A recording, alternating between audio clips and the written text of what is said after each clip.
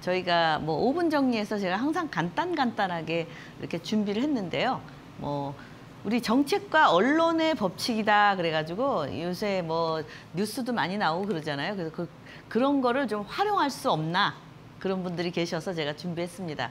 일단 이제 정책과 언론 항상 같이 다녀요. 예.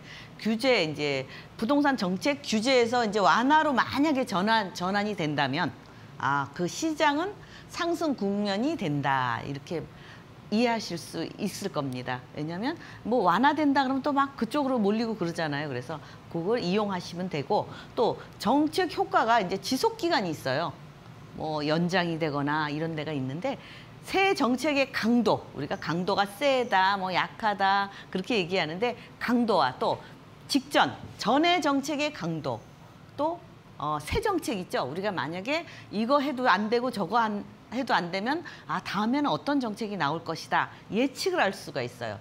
새 정책의 사전 예측이 이제 가능해진다. 그래서 요 세 가지로 이제 의해서 결정이 됩니다. 그래서 여러분들이 아 요런 정책과 언론을 항상 활용을 하시고요. 어, 또 이제 우리가 이제 정책에서 규제가 다 나쁜 건 아닙니다. 왜 그러냐면요. 아 이쪽 지역이 개발이 많이 되고 이러면 많이 투자자가 많이 몰리기 때문에 땅값이나 부동산 그 매물들이 막 오르기 때문에 규제를 하는 겁니다. 더 이상 못 오르게.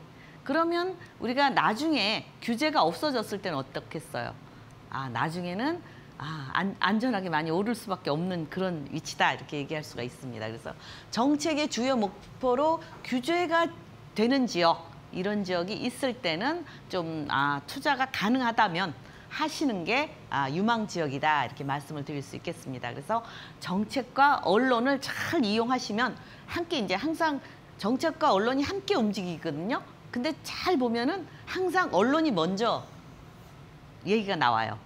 그럼 얘기가 나올 때 발빠른 사람들은 먼저 또 투자를 하죠. 그래서 언론과 정 그러니까 언론이 정책보다 앞서기 때문에 아 요런 거를 잘 이용하시면 투자를 제대로 잘 하실 수 있다. 게다가 이제 투자하면은 항상 우리가 똘똘한 한 채 얘기하죠. 리스크가 없는 거는 그래도 똘똘한 한 채가 나중에는 아, 효자 노릇을 하더라고요. 그래서 여러분들 이런 정책과 언론 잘 이용하시기 바랍니다.